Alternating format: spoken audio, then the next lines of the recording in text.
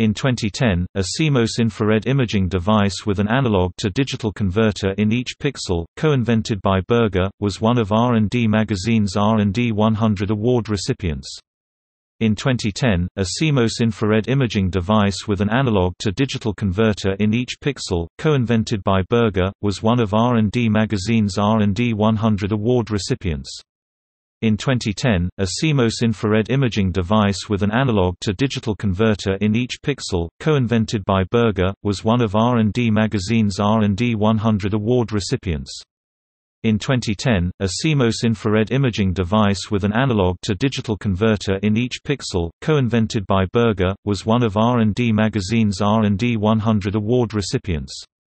In 2010, a CMOS infrared imaging device with an analog-to-digital converter in each pixel, co-invented by Berger, was one of R&D Magazine's R&D 100 award recipients.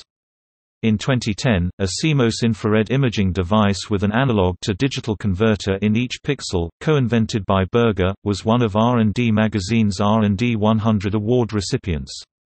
In 2010, a CMOS infrared imaging device with an analog-to-digital converter in each pixel, co-invented by Berger, was one of R&D Magazine's R&D 100 award recipients.